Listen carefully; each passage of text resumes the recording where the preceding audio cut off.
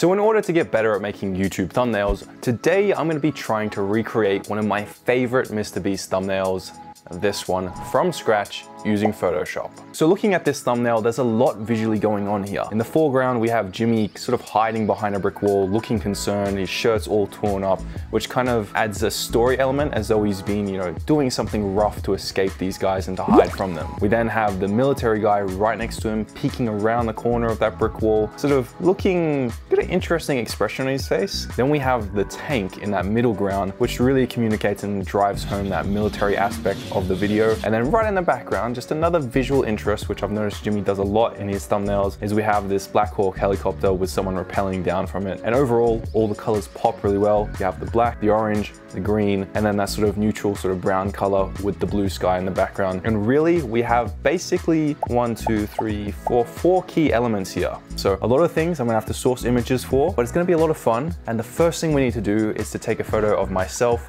looking concerned, wearing a black shirt that I can then rip up in Photoshop. So let's do that. So basically with this photo, I was just trying to match Jimmy's pose, make sure I'm looking into the camera, looking concerned, and made sure that the image was well lit. And to do this, I used one Aputure 120D Mark II, and then another side light to just add some fill to make the overall image quite bright and no dark shadows on my face, because I really wanted to match Jimmy's look here. But now I have my photo, so let's jump on to the computer. Right, so I've also gone and found all the assets I need. So I found this tank image on Google, got a dirty sort of texture grunge that I can put on my face. I found this brick wall that we can use. It's a similar color and sort of that rough texture. This sort of dirt ground texture, which we'll use for the background. The important one, the army guy, which is chasing me. I couldn't find one that's kind of exactly the same as MrBeast's thumbnail, but I did find this really cool one, in my opinion, maybe even slightly more dramatic and slightly better one from Shutterstock. And then finally, just some sort of sky texture that I can put in to make the clouds a little bit more interesting. I started off by dragging the assets into Photoshop. Then it was time to cut them out.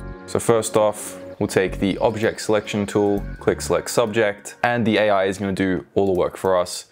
We'll just come in here, tidy up anything that it missed. So this spot here, we'll take that out too, because we want it to be looking clean and professional.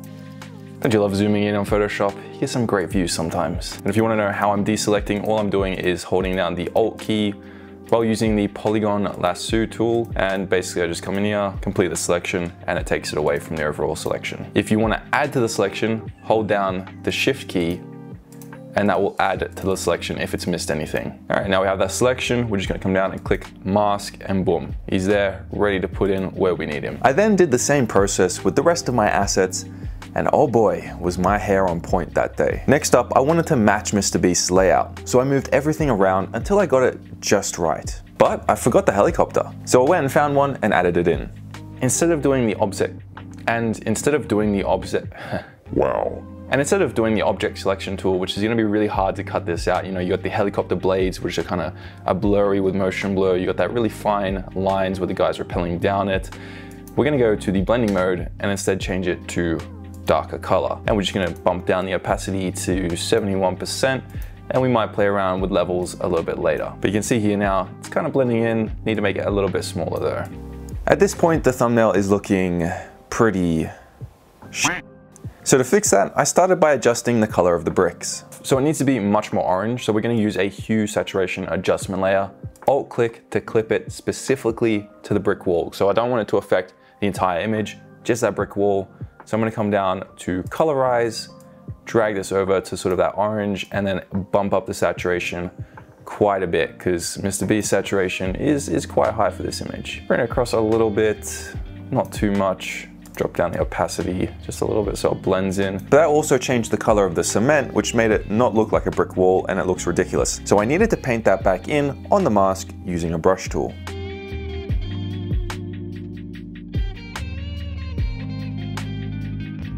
I then made the brick wall a little more jagged as though a battle had destroyed parts of it. But now I needed to fix up the photo of myself because it's looking a little rough. I think the first thing we need to do is add some curves to really bring down that light because I made it a little bit too bright and I need to sort of adjust it to make it look a little bit nicer. So I'm gonna add a curves adjustment layer, definitely alt click it so it's just applying specifically to me and to my image and I'm just gonna drag down the shadows. Not too much, just a little bit, maybe maybe there, that looks pretty good. But if we look at Mr. Beast's photo for his thumbnail, the sort of left side of his face is in shadow, whereas mine is bright just because of how I set up my lights. That was a mistake on my behalf. So what can I do here? Well, I'm going to actually paint in some shadows using a brush. So I'm just gonna select a brush, make the hardness zero, make the size a little bit bigger, make sure it's a soft round one. Alt select on a shadow color, sort of bring it down a little bit more. And I'm gonna set the blend mode to multiply. I'm gonna clip it to the layer. Now with clipping, you can do as many layers on top as you want. You just have to make sure you click alt click and all of the layers above are all alt clicked and it will just apply to that one base layer. So I'm just gonna come in, paint in, that's way too much, maybe 20%. And we're just gonna paint in a little bit. Then to match Mr. Beast, I made my shirt a little bit darker.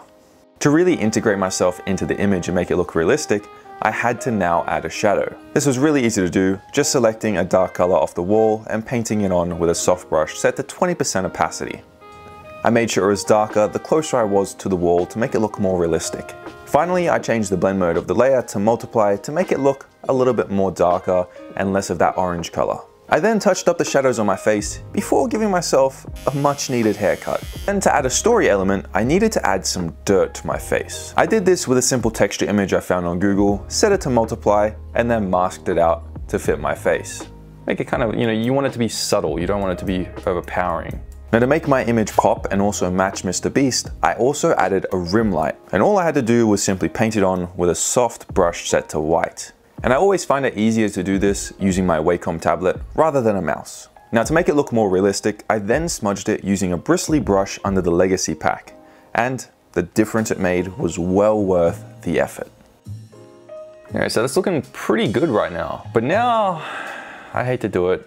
I'm gonna do something a little bit cringy. Mr. Beast tends to enhance his facial features, so you'll notice that oftentimes his eyes are really bright, and so are his teeth. And you can see here that uh, my teeth, they ain't so bright. I've been drinking a bit too much tea and coffee and the lighting just isn't hitting them properly. So I'm gonna artificially brighten my teeth and paint them in, which is gonna look really weird up close, but I think from a distance, it's really gonna sell it. So basically all I'm gonna do here is just create a new layer, get a brush, make the hardness this time around 83%, make the brush size really small, come to my mouth, which you guys all really want to look at. This is really kind of confronting actually. I'm going to need therapy after this one. And I'm literally just going to paint in my teeth.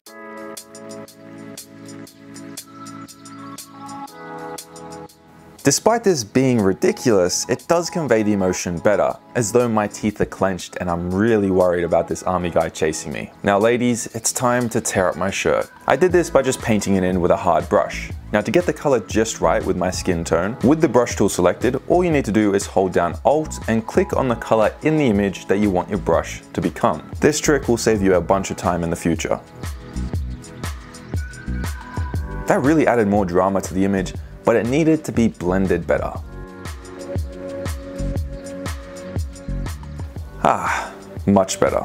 And then there's really only one more thing left to do on myself right here, and that is to literally just add in a little logo that says Mr. Beast, as though I've bought his shirt.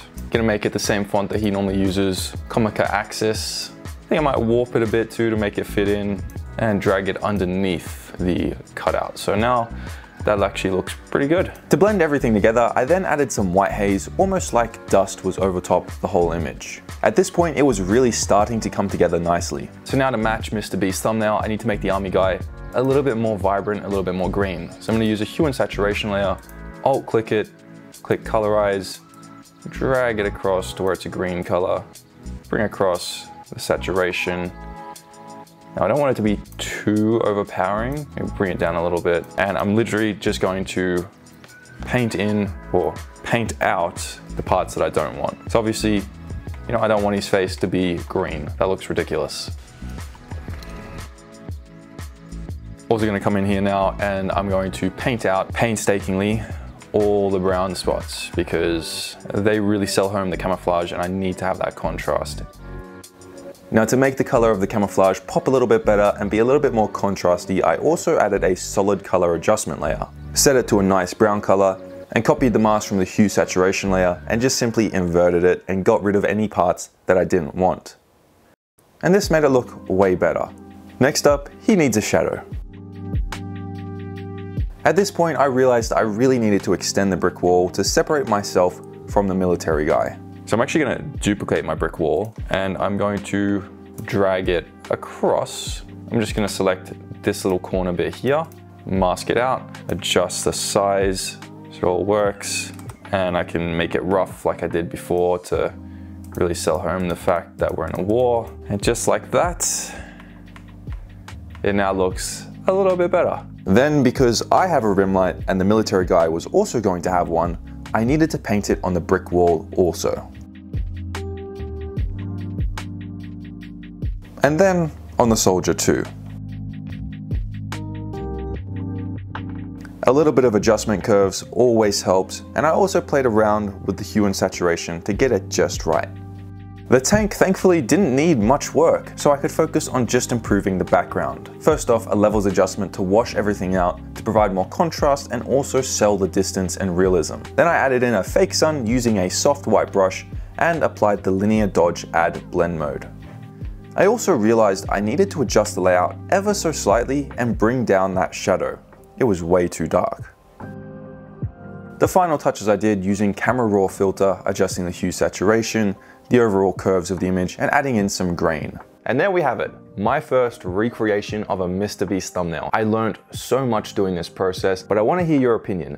Which one do you think was better? I think I know the answer to that one, but where do you think I could improve on my skill, on my craft, and make this thumbnail a little bit closer to Mr. Beast? Let me know in the comment section down below. Peace, and remember, you're only one video away. See you in the next one.